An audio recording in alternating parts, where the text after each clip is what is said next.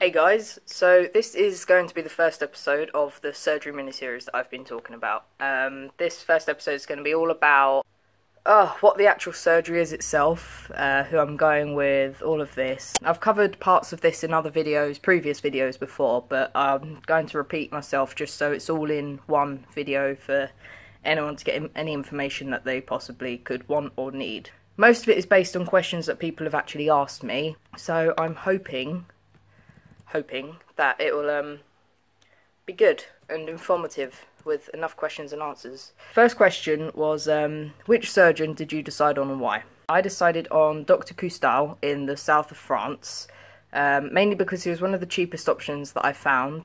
I'd also talked to a few people about uh, him, uh, seen that his results and all of this. Uh, he had really decent results and he also had a really short waiting time but yeah, he was he was definitely the cheap one of the cheapest options going private. Uh, second question: Why did you decide to go private? I went private because I needed to personally speed up the process of getting top surgery, mainly because my dysphoria was getting way too bad. And if I waited for the NHS, I probably wouldn't be seen for a I don't know a consultation till next Dece- like not this year December, probably next year December, going by NHS waiting times. And that would have been a problem because obviously I'm going to university in September and I'm doing such a physical course that I wouldn't be able to get the time off of uni to actually recover from the surgery. When are you having the surgery? Uh, I'm having surgery on the 4th of August this year, which is from today, it's 41 days, I think, so it's just a little bit over a month. How much does the surgery cost overall, including accommodation and flights? The surgery costs 3,530 euros overall, which before the EU came crashing down with whatever is going on today with pounds and whatever, um, it was roughly £2,380 in English money. No idea what it is now, hoping it's not much different, but that includes the anaesthetist fees as well as the hospital fees and obviously the surgeon's fees. Um, but the surgeon you have to pay up front, and the anaesthetist in hospital you actually have to pay whilst you're over there. Accommodation cost me £65 for 10 nights, and flights cost £150. But this was because I'm travelling with other people, and the accommodation we've split between four of us in the end. So, overall, so far, I will be spending around I don't know, about £3,050 for all of those bits, and that's excluding food and all of that, but it's still less than what I'd have paid for if I'd have gone private over here in England, because that's about double that. How are you affording this surgery? I first had trouble finding ways to afford it actually, because um, I'm not in a full time job. Even I'm 21, I'm in a part time job, and they don't allow you to take out a loan if you are in a part time job, which really sucks. So I couldn't personally get the loan out, so my mum had to take it out, and I'm paying her back, which it, it works for us. It's, it's decent enough. I've been saving like crazy so that I can actually have some extra money on the side and I did set up a GoFundMe at first because I was really worried that I wasn't actually going to make the money in time because of being denied the loan the first time. But um, that didn't get anywhere anyway, so I've just been trying to save and save and save and doing jobs here and there, washing cars and stuff like that to try and earn a little bit of extra money. What kind of top surgery are you having? Uh, I'm having, I think they call it, like the full term is double incision mastectomy with nipple grafts or something like that, or nipple and areola. I don't know how to say it. Which is basically where they just slice it off, take out all the tissue, and then stitch it back up, and then stick the nipple back on. I think, obviously with a bit more, bit more to it than that. That's it's quite gross when you think about it. Are you having drains inserted? Um, with this surgeon, he doesn't seem to use drains. Uh, that actually worries me a little bit because most surgeons do use them because it helps to stop the build-up of fluid in the chest. So this means I'm going to have to be extra careful with wearing my post-op binder. I've got to keep it nice and tight to avoid the fluid build-up, which can cause complications if I let the fluid build up. No, I'm not having drains inserted.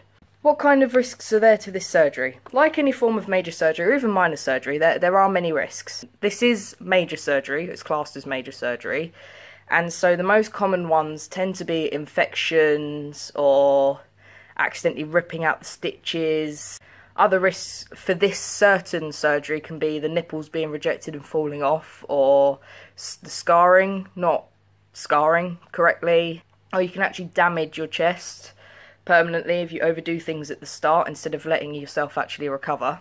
I don't think there's any other risks apart from, I mean, obviously there's the nasty risks such as death and all of that, but that comes with everything, even probably taking a couple of paracetamol. Um, how long will you be in hospital?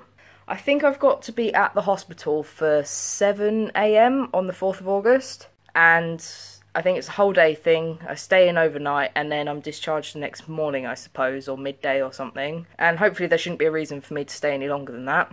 What kind of aftercare do you get? In all honesty, I'm not actually positive on this answer. I know that I go away with painkillers, but other than that, I'm not all that sure if he provides me with bandages and stuff like that, so I should probably actually check that out. Thank you for that question, because it's given me something to ask him. I will have my post-op appointment though, just to check that things are running smoothly before I come back to England. So I think if something were wrong, he'd help me get it sorted then. But otherwise, I don't actually know all that much about aftercare abroad. Are you taking anyone with you, and why did you choose them? Uh, I'm taking my best friend Lisa um, with me, as I did have other plans, to take someone else, but that sort of fell down a big old hole. So I had to find someone else, and Lisa stepped up to, well, basically stepped up to the task to being my carer. It also means she gets a mini holiday away from her hectic life and this crazy country. Uh, I chose to take her because she knows how to look after me.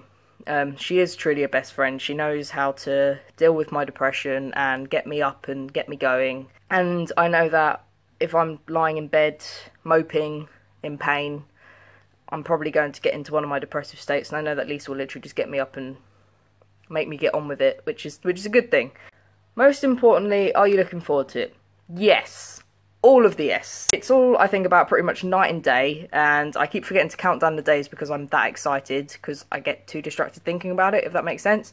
I always forget how many days left it is. I forgot to mention that I'm actually going with two other people in the who am I taking with the, Um, which is Elliot and his friend Gina. Elliot's basically the one that keeps telling me how many days we've got left because we're having surgery on the same day, which is really cool because it means I've got a surgery buddy. Um, and we're all going together, so that's kind of cool. But he's the one that keeps saying, "Oh my god, we've got this many days," and, and I'm like, "Oh my god, do, do, we actually? That's that's crazy. That's like no time at all." So yeah, I am I am really excited. Um, from today is 41 days, which is so close.